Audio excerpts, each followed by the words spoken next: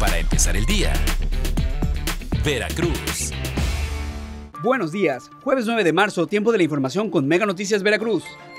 Mujeres protestaron contra violencia y feminicidios en el estado de Veracruz. Transportistas acusan al sindicato de Constellation Brands que no les han pagado. Asegura alcalde de Medellín de Bravo que el tema de la concesión del agua no es ilegal. Veracruz es el tercer lugar nacional en casos de obesidad. Ambientalistas piden se descarte el cautiverio para el cocodrilo de la laguna de Malibrán. Usted ya está bien informado para empezar el día. Para empezar el día.